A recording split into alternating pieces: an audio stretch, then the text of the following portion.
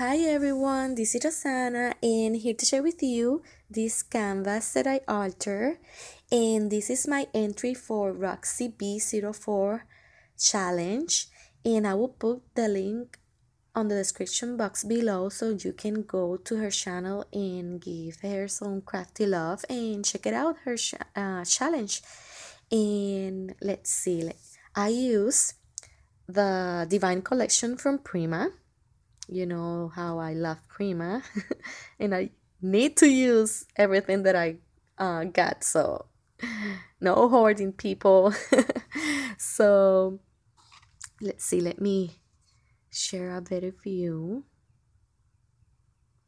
this is a 4 by 12 canvas. And I did the the technique, the transfer image technique.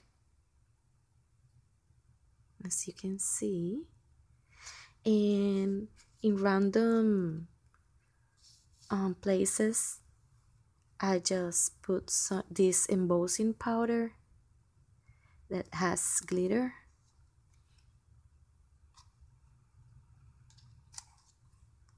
all around the border and then over here on the back I don't know let me share with you more close.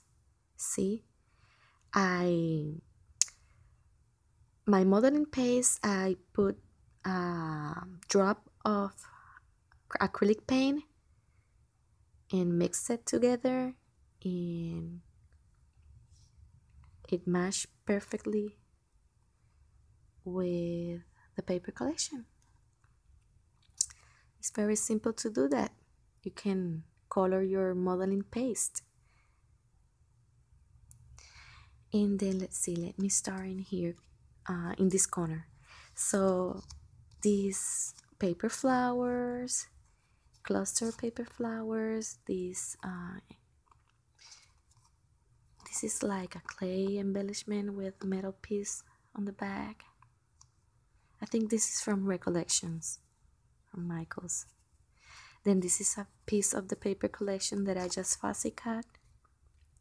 And this is uh, Prima Bling from the collection too.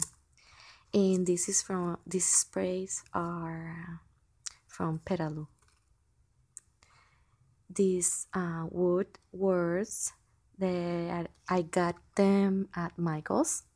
And then I just, as you can see, I just use uh, white embossing powder on top of them.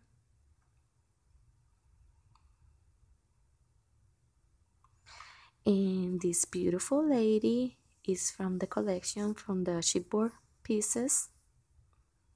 And I just you know you know that with this collection you need the banners. so I cut pieces of the banners and put it over there. So that's it.